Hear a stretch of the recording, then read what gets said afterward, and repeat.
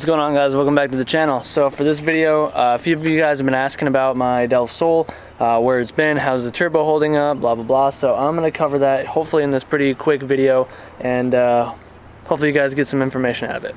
So to start this off, let's go over what it has done to it right off the bat. Uh, it is a bone stock B20 VTEC, so it has just a you know a normal Japanese uh, B20B bottom end, a first gen B16 head. I have B16 cams, I have VMS adjustable cam gears, and I have GSR dual springs and ARP head studs. Everything else is bone stock. I think it's a Type R replica, skunk replica intake manifold. I got it with the head, so I don't even know. Um, pretty sure it's stock throttle body or GSR throttle body, but nonetheless, stock motor.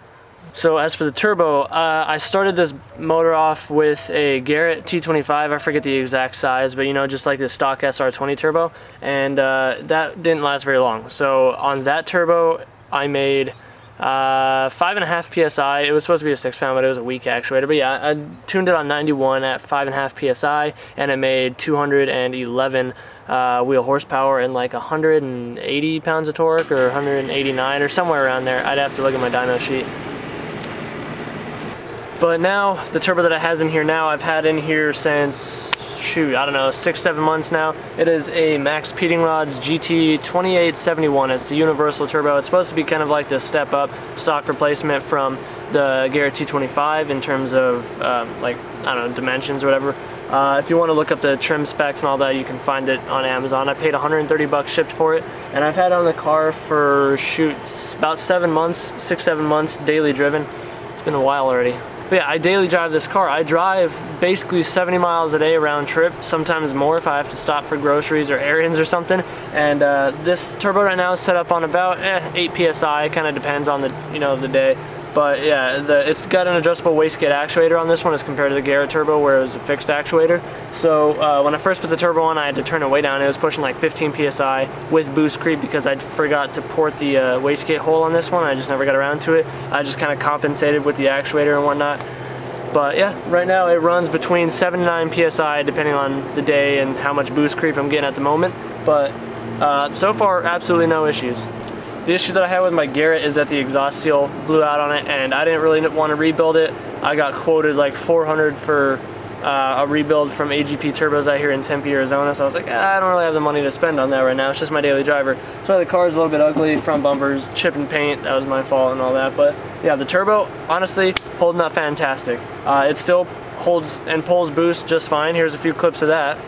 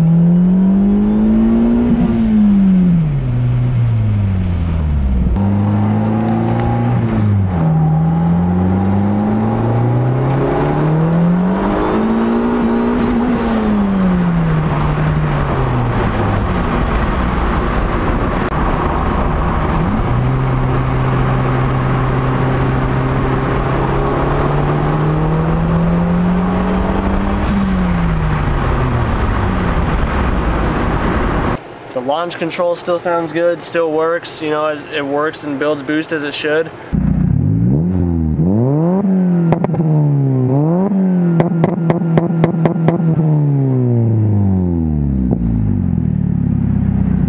absolutely no issues there. Uh, if you guys saw, I'm running uh, two catch cans. That's just more for my thing because I'm trying to experiment with some stuff. The big one I made myself, then I got the little eBay in the back venting the block.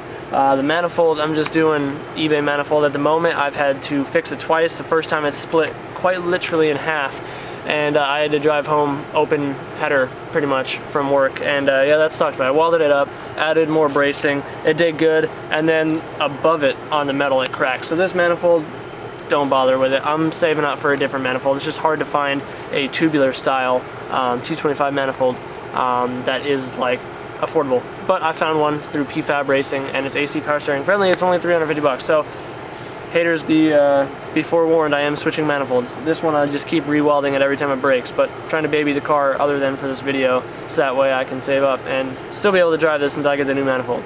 As for putting the turbo on, it depends on your application though, because mine was already set up for the Garrett T25. It's decently similar, my water lines were the same, uh, but my oil feed line is different because this one has a built-in restrictor. My Garrett Turbo did not have a built-in restrictor.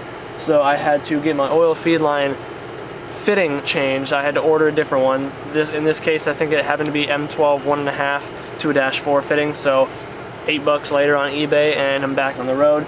The drain line, same situation, same style. It's, like I said, it's meant to be kind of a Garrett replica turbo. It's actually a hybrid. It's a T25, T28 hybrid. So it is a little bit bigger. This is the smallest one that I could find because I wanted a smaller turbo, quicker spool, not going for max power. Um, but speaking of power, as the car sits, it should be making about 250 um, 240 wheel horsepower, which this car feels plenty fast for me. I know it's not a whole lot of power, but with how light the car is and being a street daily driven car on all season tires uh, and soft suspension, it's got Yonaka Spec 1s on here. So torque steer is real. Um, but yeah, it's holding up pretty well so far. I haven't had any issues with the turbo since I've owned it. Now, I do have one issue with the car, and that is on deceleration. If I decelerate for a little bit, uh, or whatever, then occasionally I'll get a puff of smoke out the back. I've already diagnosed it. It's not the turbo. I have no shaft play. I have no oil in any of my charge piping. I have no oil in my downpipe. Like I found my Garrett turbo was bad when I popped the downpipe off and it was filled with oil.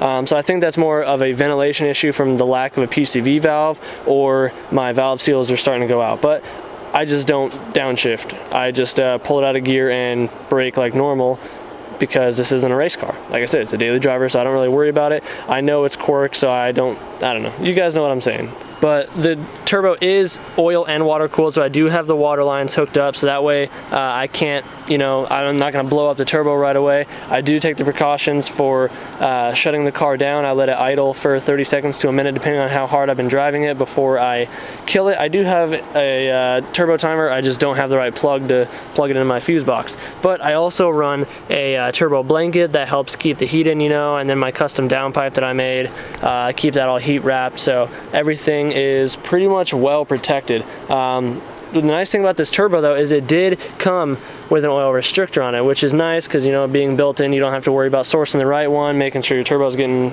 enough oil, too much oil. Uh, they do that work for you, so it's really not that bad. Because this thing feels good. It builds boost pretty consistently. I'm almost always at full boost by 3,500 to 4,000 RPM. I can never really tell, uh, but probably I will say 3,800, and I got full boost, which isn't that bad. If any of you guys are wondering why my blow-off valve is uh, tied on there, for some reason, whatever reason, I cannot get the seat or the snap ring to sit in there. I've got, I've shaved it down a little bit. I've changed out the O-ring.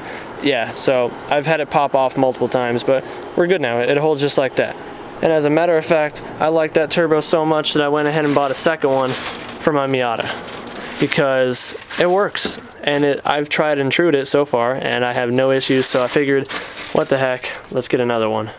But yeah, I've probably put a, eh, close to 8,000 miles on this turbo since I put it on about six months ago. I drive the car for the first couple months. I was driving it pretty on hard, being new to boost and everything. I was just enjoying it. And even now, I really only get into boost when I'm getting on the freeway or if I'm trying to get around somebody. But when I need it, it is there. And this car has not let me down, thankfully. I'm really stoked on that, especially coming from an eBay turbo and an eBay manifold with a setup that I had to fab up and make work. But you know what?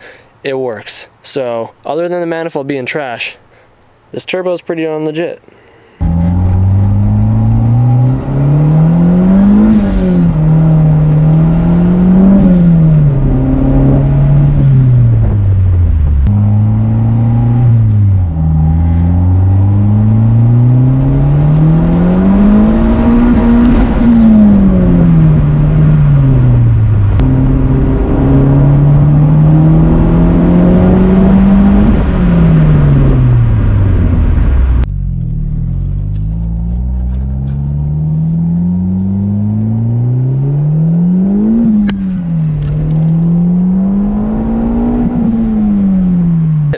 That's pretty much my update. Letting you guys know that I am probably, let's say 8,000 miles in on this, about two and a half oil changes in. Uh, turbo is still giving me no issues. Turbo still pulls hard and uh, makes really cool noises. So hopefully uh, this inspires you guys or encourages you guys that yes, always it's best always to buy uh, name brand stuff. But if you're like me and you can't afford that thousand dollar Garrett turbo or more even, then you know sometimes you gotta work with the eBay stuff, and sometimes the eBay stuff isn't that bad this turbo and this car being testament to that. So hopefully if you guys enjoyed the video, uh, you'll leave a like on this video. And if you're new to the channel, hopefully you've considered subscribing. Let me know down in the comments below if you guys are gonna be, if you guys run any eBay turbos or if you have any experience with other eBay turbos, good or bad. And uh, be sure to hit up the Big Cartel and pick up a Touge Life sticker of the Miata. We will have new stuff hopefully pretty soon. I'm trying to get somebody to help me kind of make stuff up because my normal person that makes my stickers for me is uh, very, very busy. But anyways, guys, do what you love, forget about the rest, and we'll see you in the next one. Um, yeah, keep on building. Peace out.